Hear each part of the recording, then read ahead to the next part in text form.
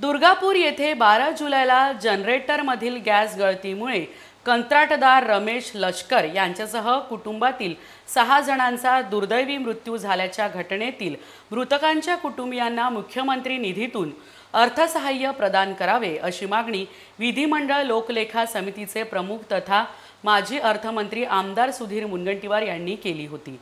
दुर्गापूर येथील रहिवासी रमेश लष्करे यांनी रात्री अकरा वाजताच्या सुमारास घरातील जनरेटर सुरू करून सर्व झोपलेले असताना जनरेटरचा धूर बाहेर पास न झाल्याने गुदमरून कुटुंबातील रमेश लष्करे अजय लष्करे लखन लष्करे कृष्णा लष्करे माधुरी लष्करे पूजा लष्करे या सहा जणांचा मृत्यू झाला.